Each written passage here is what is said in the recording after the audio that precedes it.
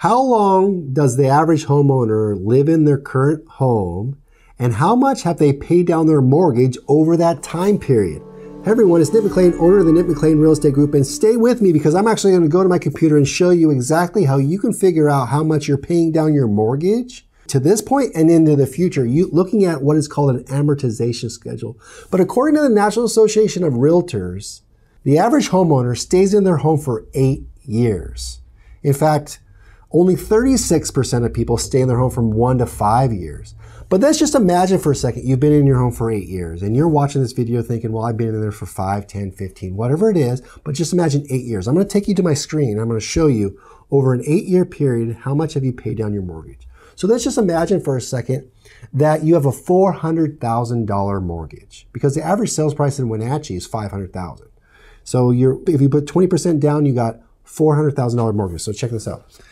So in the amortization schedule calculator that you can find online, I've entered in there $400,000 mortgage, a 30 year mortgage. Now, some people have a 15 year mortgage, so you'd want to change that. And that affects your amortization schedule quite a bit. And then it affects how much you pay down your principal quite a bit. But let's just say it's 30 years. Interest rate really doesn't matter. I'm going to show you now at a $400,000 mortgage how much you've paid down your home in eight years. Your, the very first payment you made right, on a $400,000 mortgage, you made $2,000 payment, 500 of that went towards your principal. And that's the beauty about home ownership is that as you're owning the home, you're paying your mortgage down, right? That's why it's better than renting. And so your balance went down $526. But as you own the home, after a year, you're making you're making a little gains. After 2 years, a little bit more gains. So 2025, you've been in your home 3 years, you've paid down your home $21,000. So 3 years, $21,000. Four years, you've paid down your home $28,000. Five years, you've paid down your home $36,000. So let's skip ahead. Five, six, seven, eight.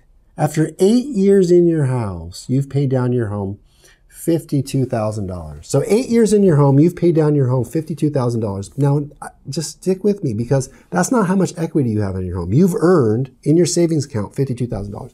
But just last year alone, home prices went up 22%. In one year alone, that's $84,000. So $52,000 plus $84,000 just in the last year. Chances are your home's gone up 60, 80, 100% since you bought it eight years ago. So if you want to know what, how much equity you really have in your house, like truly have in your house, you can go to nickmcleanrealestate.com and do a home valuation to find out what your home's worth. You can give us a call. We're going to give you exactly what it's worth.